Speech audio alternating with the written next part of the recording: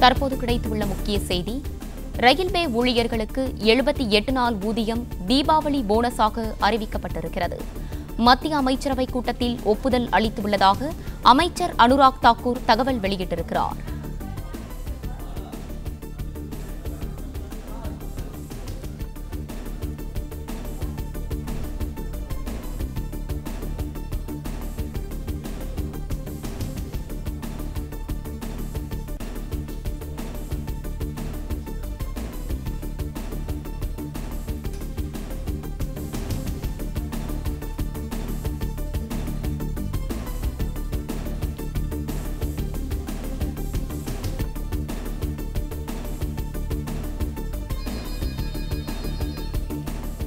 Railway ஊழியர்களுக்கு எழுபத்தி எட்டு நாள் ஊதியம் தீபாவளி போனஸாக வழங்கப்படும் என அறிவிக்கப்பட்டிருக்கிறது.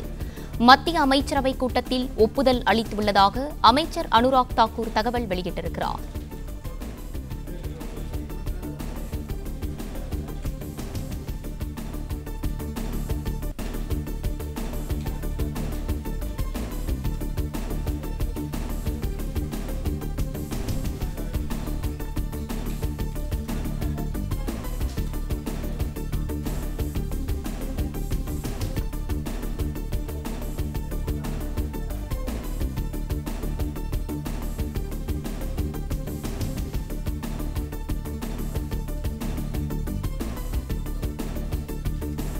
எண்ணெய் நிறுவனங்களுக்கு ரூபாய் இருபத்தி இரண்டாயிரம் கோடி மானியம் வழங்க மத்திய அமைச்சரவை ஒப்புதல் அளித்திருப்பதாக அனுராக் தாக்கூர் தெரிவித்திருக்கிறார்.